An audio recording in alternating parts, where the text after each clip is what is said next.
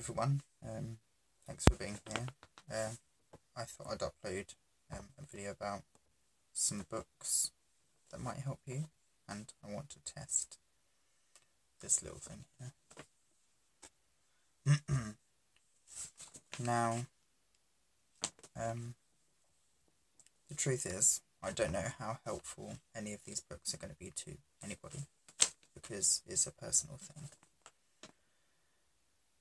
However, one of the books that I read soon after my uh, spiritual awakening was called Tao Te Ching.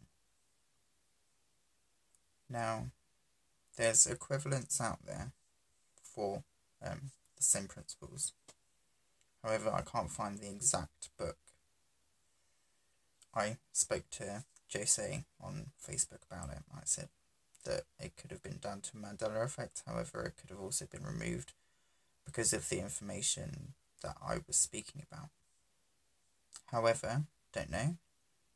All up for speculation, really. I can't 100% confirm that. However, in this book, it taught me how to see through any cell in my body. So, if you could find it and it sounds like Tao Te Ching, uh, yeah, Tao Te Ching, please get in touch. I'd love to uh, finish reading it so that I can turn off the see-through eyelids. Uh, another book, uh, The Truth Contest, you can actually um, read that online. So just search these on Google. The Truth Contest has a whole website, which is the whole book. There is an audio version if you would rather listen to it. Um, the Law of One, the Ra material. There's an audiobook for that as well. Seth, The Eternal Validity of the Soul.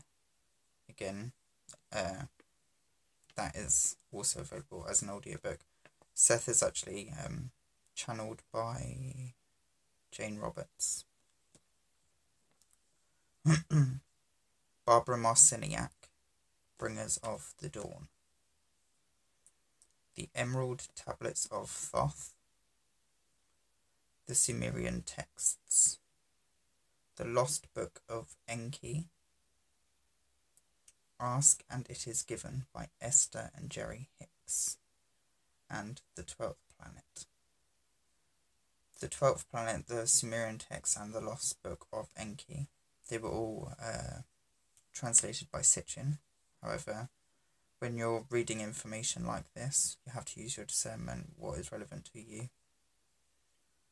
and that is pretty much it. That is some of the books that I would recommend if you are starting your spiritual journey or you're on your spiritual journey and you're just looking for new stuff to read. I would highly recommend those ones. Much love to each and every single one of you. Just a nice short video to see how this comes out. And I'll be back in a bit.